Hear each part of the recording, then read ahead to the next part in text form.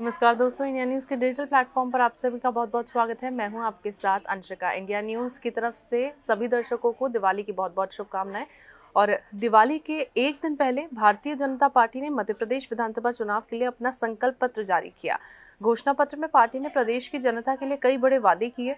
भोपाल के Kushabhau Thakre convention centre में BJP के राष्ट्रीय अध्यक्ष जगत प्रकाश नड्डा प्रदेश अध्यक्ष वी डी शर्मा, मुख्यमंत्री शिवराज सिंह चौहान, प्रदेश बीजेपी चुनाव समिति के संयोजक, केंद्रीय मंत्री नरेंद्र सिंह तोमर और मध्य प्रदेश के पूर्व वित्त मंत्री और संकल्प पत्र समिति के अध्यक्ष जयंत मलैया ने संकल्प पत्र का विमोचन किया।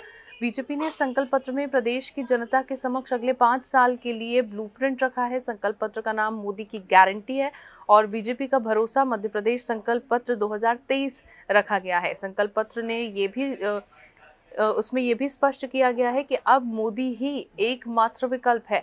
घोषणा पत्र में 10 प्रमुख संकल्प लिए गए हैं। प्रधानमंत्री गरीब कल्याण अन्य योजना को, अन्न योजना को अगले पाँच साल के लिए बढ़ाए जाने की बात कही गई है, जिसके तहत रियायती दरों पर दाल, सरसों का तेल और चीनी देने का वादा किया गया है। बीजेपी ने अपने संकल्प पत्र में किसानों के लिए बड़ा ऐलान करते हुए धन और गेहूँ के समर्थन मूल्य में ज़बरदस्त वृद्धि करने की बात कही है।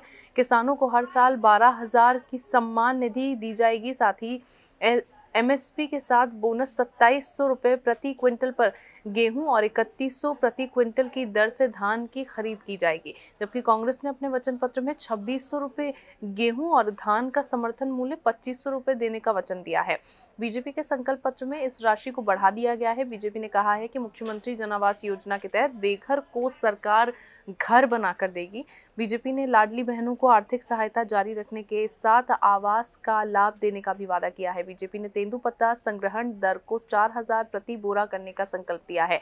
संकल्प पत्र में बीजेपी की कुछ दस संकल्प पत्र संकल्पों की अगर बात की जाए तो पाँच सालों के लिए प्रधानमंत्री गरीब कल्याण अन्न योजना जारी रहेगी। सबको घर देने के लिए प्रधानमंत्री आवास योजना के साथ ही मुख्यमंत्री जन आवास योजना शुरू की जाएगी। लाडली बहनों को मासिक आर्थिक सहायता के साथ आवास का लाभ भी दिया जाएगा। न्यूनतम समर्थन मूल्य के साथ बोनस सत्ताईस प्रति क्विंटल और इकतीस प्रति क्विंटल पर धान की खरीदी दी जाएगी। इसके अलावा गरीब परिवारों के सभी विद्यार्थियों को बारहवीं कक्षा तक मुफ़्त शिक्षा की व्यवस्था, सरकारी स्कूल में मिड डे मील के साथ अब पौष्टिक नाश्ता भी दिया जाएगा।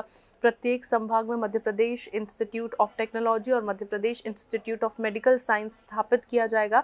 इसके अलावा प्रत्येक परिवार में कम से कम एक रोज़गार या स्वरोजगार के अवसर सुनिश्चित करेंगे। तो ये तमाम वो संकल्प हैं जिनकी घोषणा भाजपा ने अपने घोषणा पत्र में की है, अपने संकल्प पत्र में की है और लोगों को यहाँ पर लुभाने की कोशिश की है। हालाँकि अब जब 17 नवंबर को चुनाव होंगे और 3 दिसंबर को इसके नतीजे सामने आएँगे तो पता लगेगा कि बीजेपी के संकल्प लोगों के लिए कितने काम कारगर साबित हुए और ये संक, इन संकल्पों के ज़रिए भाजपा कितनी ज़्यादा कामयाब रही लोग जनता को लुभाने में। अगर आपको ये वीडियो पसंद आया तो इसे लाइक करें शेयर करें और हमें कमेंट सेक्शन में कमेंट करके ज़रूर बताएँ।